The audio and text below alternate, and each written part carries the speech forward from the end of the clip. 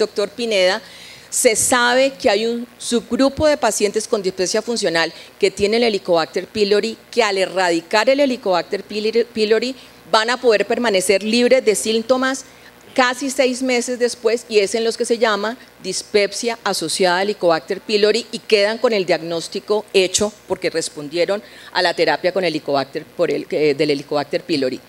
Eh, yo les pido cinco minuticos extras, ¿bien? ¿Sí? ¿Aguantamos el cafecito y, el juguito? Sí, vale, vale. Ah, la inflamación duodenal de bajo grado, la permeabilidad mucosa y antígenos alimentarios. Nuevamente, lo que ya se fue mencionado anteriormente de alguna forma, la barrera mucosa es la primera línea de defensa contra los parásitos, contra los agentes nocivos que entran en el tracto gastrointestinal. La presencia de eosinófilos está asociada con los síntomas de saciedad temprana y aquí se nos junta todo, que es que estrés, infecciones, exposición duodenal a ácido, fumar, las alergias alimentarias, todos estos factores contribuyen a cambios inflamatorios a nivel de la mucosa duodenal que van a necesariamente reflejarse en síntomas. Estos son reportes, pero que están empezando a aparecer, infección por hepatitis C y de Clostridium difficile puede estar asociado a este tipo de síntomas posinfecciosos y también a la aparición de enfermedad por reflujo y de síndrome intestino irritable. Hay quien dice, ese reflujo que aparece de la nada puede ser una enfermedad adquirida.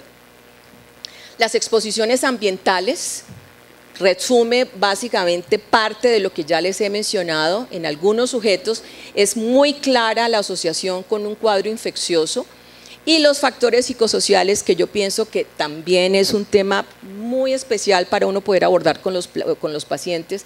Siempre hay ese fondo psicológico y psiquiátrico cuando logramos explorar la ansiedad, la depresión, la neurosis que a veces el paciente nos transmite, cuando es capaz de verbalizar que ha sido sometido a abuso físico, verbal inclusive, y, esto es lo que lo ha enfermado, la pérdida de la introspección, porque a veces el paciente no es capaz de aceptar que hay algo en su vida que está disfuncionando y que eso lo tiene mal, la relación bidireccional en el que yo tengo una enfermedad o yo tengo unos síntomas y eso a su vez me genera depresión, entonces se vuelve un lleve y trae de ambos lados, y los estudios con neuroimágenes que han dicho que la percepción de los síntomas puede estar modificada tanto por el aspecto cognitivo como por las emociones. Entonces, eso que acabamos de ver es ese diagrama. Ahí está resumido esto que acabamos de mencionar. La evaluación clínica, hacer historia clínica, descartar los signos y síntomas de alarma, tratar el reflujo cuando vemos que se nos está sobreponiendo y está jalando mucho los síntomas, si hay Helicobacter pylori, tratarlo. Y cómo vamos a enfrentar el paciente. Lo primero y lo más importante que es la piedra angular en los pacientes con trastornos funcionales y en el paciente con dispepsia funcional.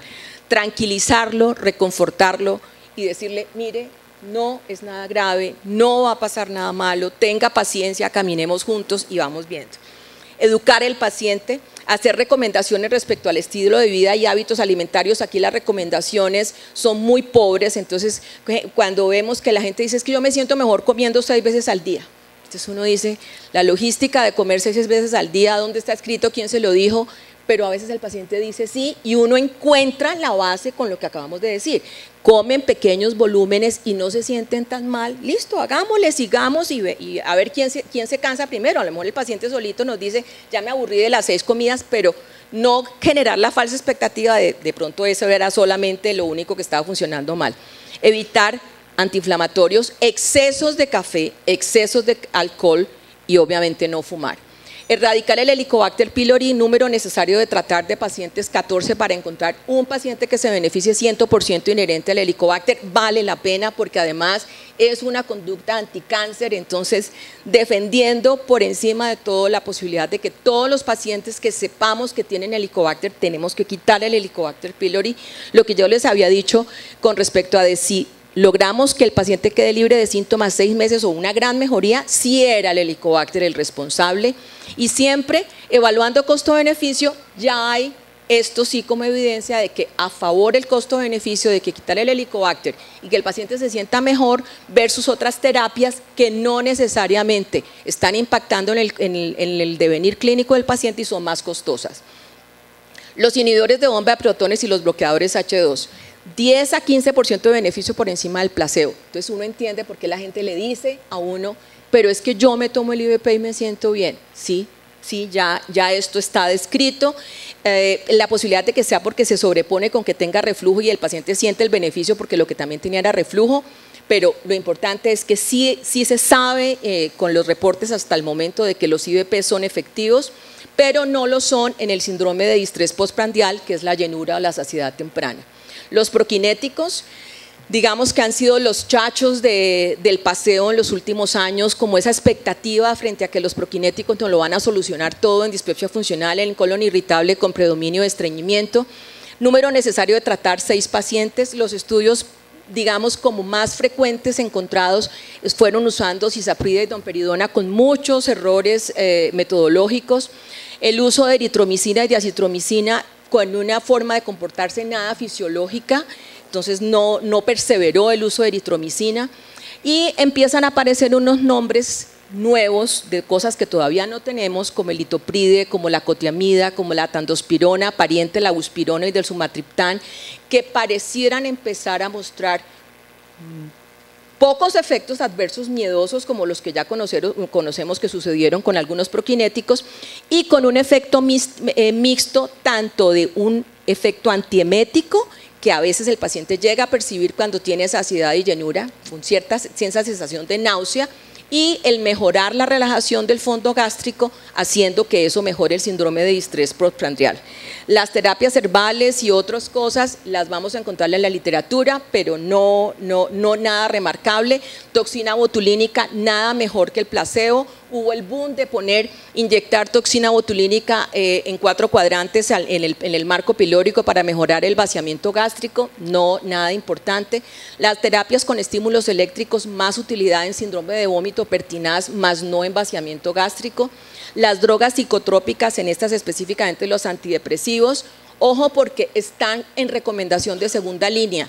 Yo no pienso que nos podemos quedar con que mi paciente después veré yo cuando lo mando al psiquiatra. Si le sabemos decir a veces al paciente, mire, yo creo que usted sí necesita ayuda, yo creo que usted sí necesita que alguien le ayude a cargar la maleta, podemos hacer que esa segunda línea no se vaya por allá, sino que sea casi que concomitante con todas las otras búsquedas de ayuda que estamos teniendo con el paciente. Ahí entran los inhibidores de recaptación de serotonina y los tricíclicos que ayudan en el dolor epigástrico. Y el Montelucas y los bloqueadores H2, junto con los IVPs que ya hemos mencionado, ayudando a mejorar la inflamación asociada a la presencia de eosinófilos. Entonces, ojo que eso de rescate no lo dejemos para rescate, sino acudamos a él prontamente. Esos son dos libros muy bellos, Más Platón, menos Prozac, que tiene unos 15 años, y este que es una persona que habla de la resiliencia, que es Boris Cyrulnik. terminó el tiempo. Sí, señor. Eh, para que sepamos que eso es posible, que podamos hacer que el paciente haga búsquedas adicionales. Y estos dos diagramas este específicamente es para decirles esto. Ya termino, mi doctor. Siempre hablamos de signo de alarma, signos de alarma que nos hagan, de acuerdo a la literatura gringa, hacer una endoscopia digestiva. Entonces yo les diría que el signo de alarma para nosotros es que el paciente vive en Colombia. Cuando uno vive en Colombia y la primera causa de muerte por cáncer es cáncer gástrico, tenemos que dejar a un lado la idea de que la endoscopia es un examen de segunda línea tenemos que pensar que para uno decir finalmente que el paciente tiene dispepsia funcional, tenemos que tener una endoscopia temprana y poder seguir trabajando con el paciente de ahí en adelante. Muchas gracias.